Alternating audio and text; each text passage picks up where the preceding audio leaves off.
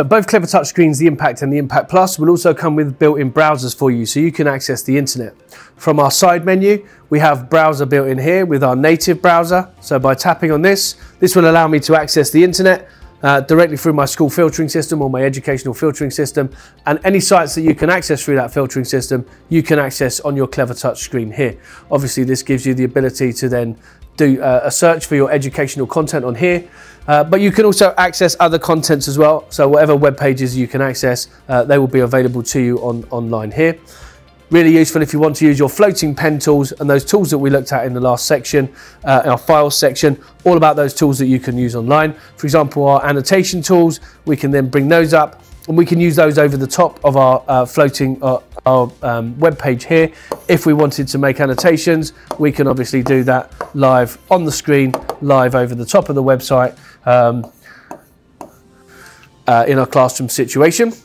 Again, if we needed to, we can save that content with those annotations using our three icons here, the, the floppy disk icon, the QR icon, or the cloud storage where we can save those annotations and a screenshot over the website that we're on. We can also use our other floating pen tools.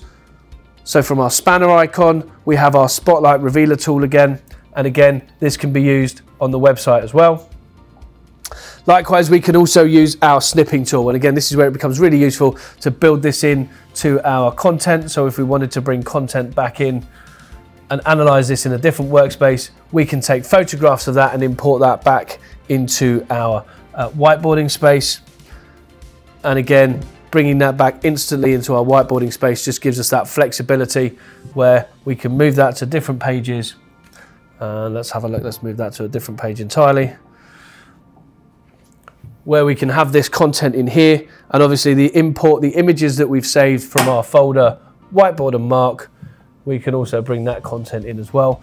So you can see nice and quickly we can bring content online and we can analyze and bring that into the different workspaces that we have and use that nice and quickly so from my floating pen menu, I'm just going to go back to my home and come back to my apps section now down the bottom. This is obviously the native browser that we had up here, but in our apps section here, you can see we also have a Chrome browser built in.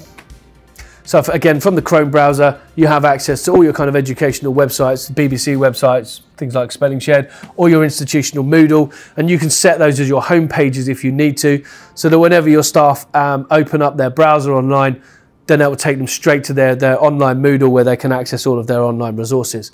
Likewise from here, if I come to my Google account or my OneDrive account, I have the option to also sign into those accounts, which then also gives me the option to open up my Drive, etc. So I can then again access all of my online resources and my online materials directly from the front of the screen, however I would like to, to work that through. Again, flexibility for you as a, as a classroom practitioner that you have the op option to on, um, access your online content in a variety of ways.